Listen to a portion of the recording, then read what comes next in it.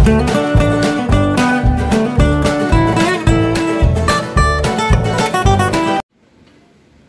guys! Magluluto ako ngayon ng beef radish. Ito yung mga ingredients na kailanganin natin sa ating menu.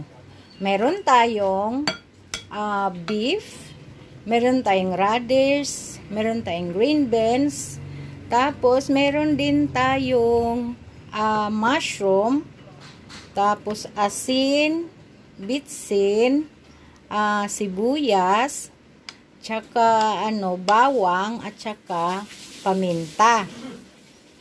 Ayan.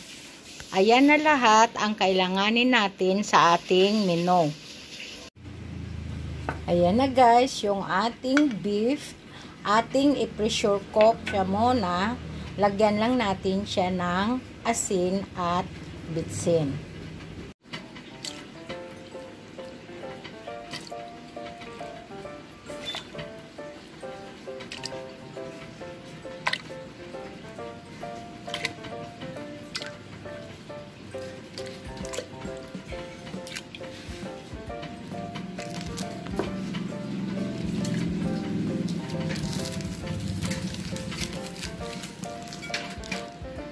Ayan. I-pressure cook lang natin siya ng mga 15 minutes.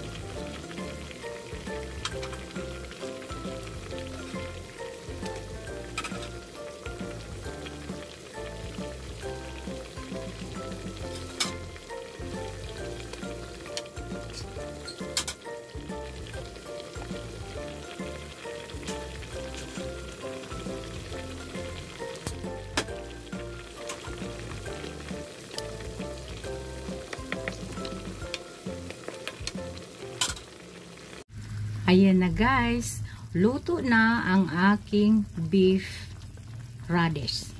Ayan, kung nagustuhan ninyo ang aking menu ngayon, please huwag kalimutan mag-like, mag-share, and mag-subscribe sa aking YouTube channel. Happy cooking!